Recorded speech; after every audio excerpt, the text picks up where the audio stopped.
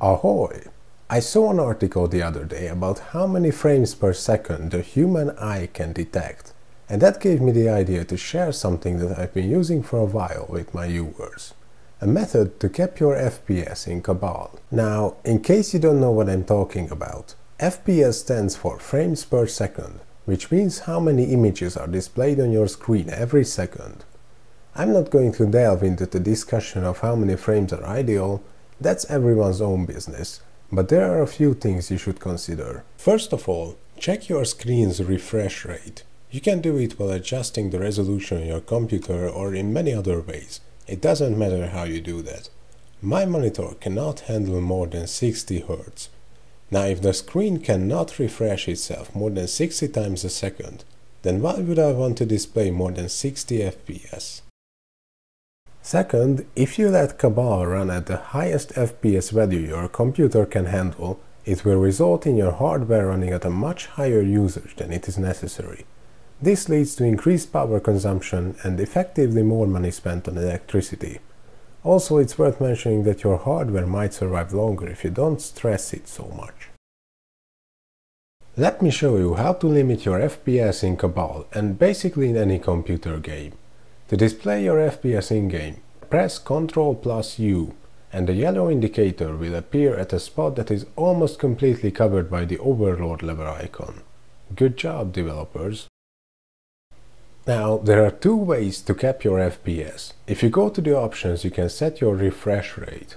Only the values supported by your monitor are shown here. This is the easiest and the least convenient way because this only works if your game is in full screen mode. Switch it to window or switchable full screen mode and it won't work. This is also called vertical sync in other games, which you can almost always set in the options. This is where the second and the harder way comes in the picture. I personally only put the game in full screen mode when I'm recording videos, because in window mode I can browse the internet and listen to music easily. Now, you may have noticed in pretty much every video I've ever uploaded that there's a tiny blue number at the top left corner of the screen. That indicator is a side effect of a software I'm using to cap my FPS. This software is called RivaTuner Statistics Server and it's visible right here. Let me open that. It's a freeware and you can just search for it on the internet and download it. It has plenty of pre-made applications, but you can create a new one for Cabal, or just set the global value. I chose the global value because I prefer to limit that to 60 in every game. Now, after selecting your preferred game or application, on the right side you can see an entry called frame rate limit. This is what we're looking for, and as you can see I've already made that to 60.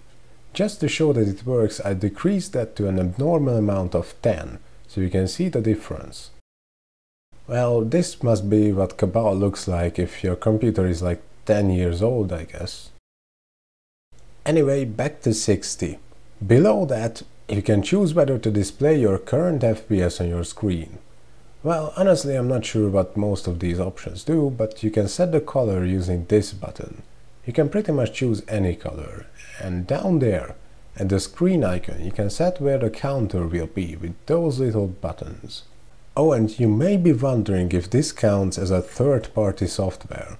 Well, I've been using this ever since my previous CPU cooler decided to be quite loud and wanted to lower the CPU usage and the heat production to slow the fans down and make it more silent.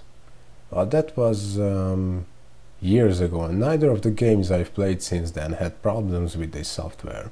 I haven't had any XIGN code errors because of that either. Well, it's that easy. I currently don't know of any other way to capture FPS in window modes, so it's a pretty awesome little utility, and I definitely recommend it, or at least limiting your FPS in any other way. If you found this video helpful, please consider sharing it or subscribing to my channel. Ahoy!